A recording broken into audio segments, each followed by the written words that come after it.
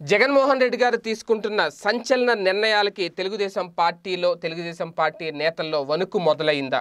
అంటే ప్రస్తుతం ప్రస్తుత పరిస్థితులు చూస్తూ ఉంటే అసలు ఏం జరగబోతుంది? ఏ క్షణాన్న ఏ నాయకుడు పేరు బయటకు రాబోతుంది?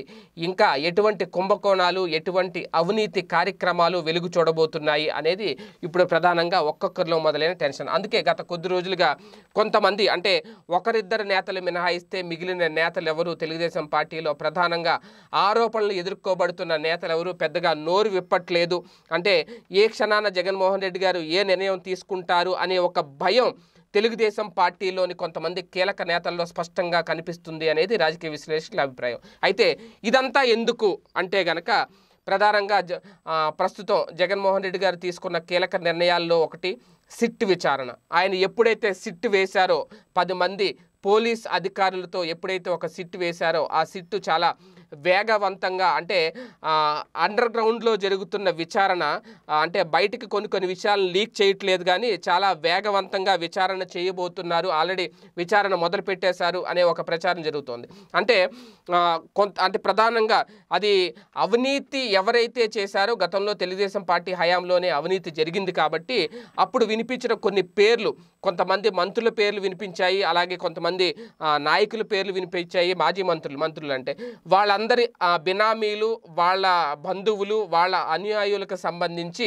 వాళ్ళు కొనుగోలు చేసిన ఆస్తుల వివరాలు ఏవైతే ఉన్నాయో అవన్నీ ఆల్రెడీ ముందుగానే తమ దగ్గర సమాచారం సేకరించి పెట్టుకున్న ప్రభుత్వం ఆ వివరాలన్నీ కూడా సిట్కి అందజే అందజేయడం జరిగింది. ప్రధానంగా ఇన్సైడర్ ట్రేడింగ్ ఆరోపణలు మొదలు పెడితే నాలుగు వేల డెబ్బై ఎకరాల్లో ఇన్సైడర్ ట్రేడింగ్ జరిగిందనే పూర్తి ఆధారాలు ఆంధ్రప్రదేశ్ ప్రభుత్వం దగ్గర ఉన్నాయి. ఆ నేపథ్యంలో అలాగే సిట్కి ఎప్పుడైతే విశేష అధికారాలు కట్టబెట్టారో ఆ విశేష అధికారాలు ఉపయోగించి ప్రతి శాఖకు సంబంధించి ఏ శాఖ అధికారిని ప్రశ్నించాలన్నా ప్రశ్నించే హక్కు సిట్కి ఉన్న నేపథ్యంలో ఏ నాయకుడినైనా కూడా పిలిచి విచారించే హక్కు సిట్కి ఉన్న నేపథ్యంలో ఇప్పుడు కొంతమంది మాజీ మంత్రుల్ని తెలుగుదేశం పార్టీలో ఉన్న కొంతమంది కీలక నేతల్ని ప్రధానంగా చంద్రబాబు గారికి లోకేష్ గారికి సంబంధించిన కొంతమంది వాళ్ళ సన్నిహితుల మీద కూడా దృష్టి పెట్టింది. సిట్ అనేది చాలా క్లియర్గా దోతుంది ఇప్పటికే కొంతమంది కీలక నేతలను ఆల్రెడీ గంటల పాటు విచారించారు.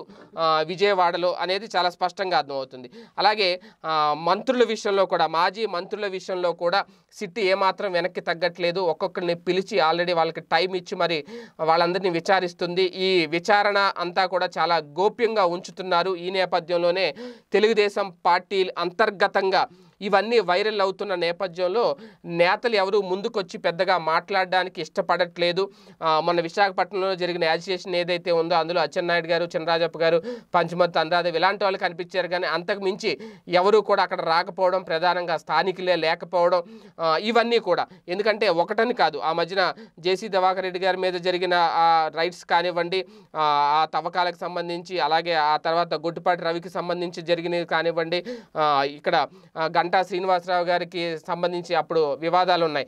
ఆ లెక్కల గొడవ కానివ్వండి ఇవన్నీ అంటే ఒకటని కాదు. ఇవన్నీ కూడా ఎవరైతే ఏ లూప్ పోల్లో దొరుకుతారని భావిస్తున్నారో వాళ్ళందరూ కూడా మౌనంగా ఉంటున్నారు అంటీ ముట్టనట్టు పార్టీకి తెలుగుదేశం పార్టీకి అంటీ ముట్టనట్టు ఉంటున్నారు అనేది ప్రచారం జరుగుతుంది.